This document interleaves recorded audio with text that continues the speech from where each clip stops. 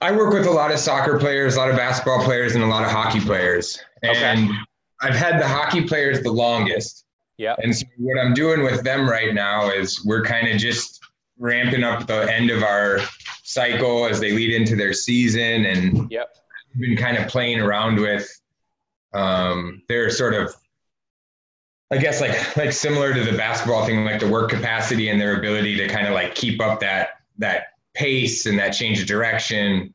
Yep. And I I read a um um I was gonna go grab the book, I'll grab it, but I'm blanking on the name. But they were getting like really, really jiggy with their like times and Yeah. and we're like, you know, like seven seconds on, 13 seconds off, 12 times with three minutes rest, and you do that like seven times. And and so Right. like when I think about like a basketball or soccer, like I just look at how can I, you know, linear, I, uh, I, I progress, linear progress their uh, work capacity. Like how does that look? I mean, you don't obviously start out at like a hundred, you know, sideline to sidelines or Right. or do you I mean, are you I don't know. I mean, I don't know how much you want to share, but like do you Yeah. is it is it just like sideline to sideline, you know, and then it's like week 2 is another rep, week 3 is another, week 4 is another. You know, it can be. Um,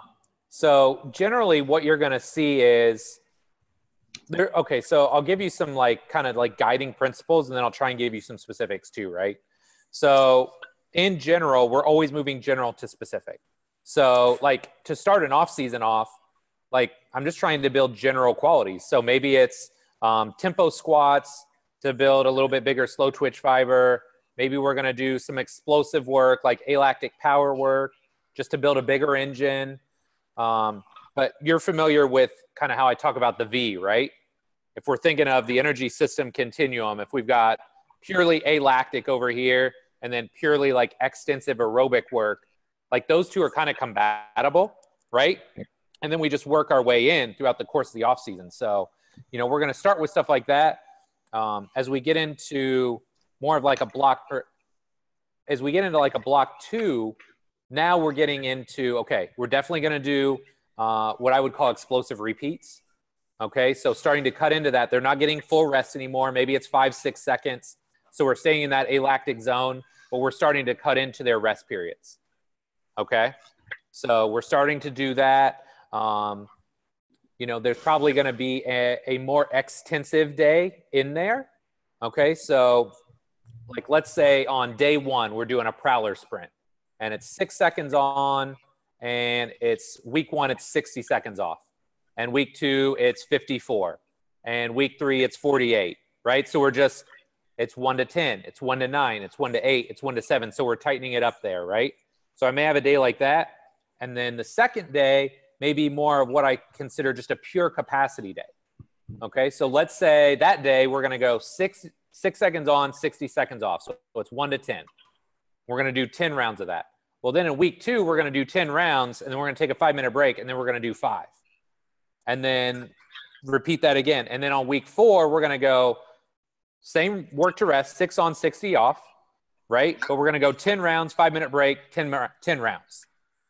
So you see how we're building that endurance. So, like, we're kind of building on one day, we're building that ability to truly repeat sprint on less and less rest. So you're trying to maintain the power and the output with less and less rest. And on the other day, you're just trying to increase volume over the course of, you know, the next four to six. Yeah, yeah, yeah, yeah. That makes a lot of sense. Okay. So I'll play around with that. And then the big thing is, and I always think in about three, in, in three blocks in a, in a macro cycle or whatever you want to call it. Um, and that last block is very, it, we're getting close to lactic, if not touching lactic for sure, um, just to expose them to it. But one thing that I, I think is really important here is it has to be more tissue specific, right? And I hate the term sports specific, but it's got to be more more sports specific in that realm too. So if we're pushing a prowler that month, month three, we're gonna do like a lot more change of direction and that sort of thing. So like for my soccer guys, I'll generally have three days. I'll do uh, a 10 yard shuttle day, right? And you got to think a 10 yard shuttle, they should be getting four or five turns. Okay, so more change of direction, more decelerations, more accelerations, right? And maybe that day is like 10 on, 40 off to start. And then we start cutting into that rest period. Another day may be what I call a long shuttle day. So that's like a 25 yard sprint. And that just works well here in our space. I mean, you can see this is all the turf turf we have. But that day is going to be more of like a like a high end aerobic power. So it's like say 10 on, 20 seconds off, or 15 on, 15 off.